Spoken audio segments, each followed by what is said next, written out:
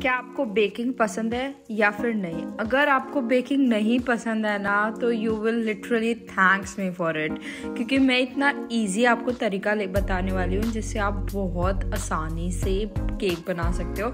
ये प्रीमिक्स आता है हंड्रेड एंड टेन रुपीज़ का था सिर्फ़, और इनने बोला था कि एक क्वांटिटी इनने प्रॉपर मेजर की हुई थी कि इतना आपको मिल्क डालना है, इतना आपको उसमें ऑयल डालना है एंड सेम मैंने फॉलो करके बस केक बनाया है। एंड लिटरली गाइस बॉम था. मतलब बोलते ना चुम्मेश्वर इन माई वर्ड्स इतना ज़्यादा सॉफ्ट फ्लफ़ी केक बना क्योंकि मुझे ना बेकिंग बिल्कुल नहीं पसंद.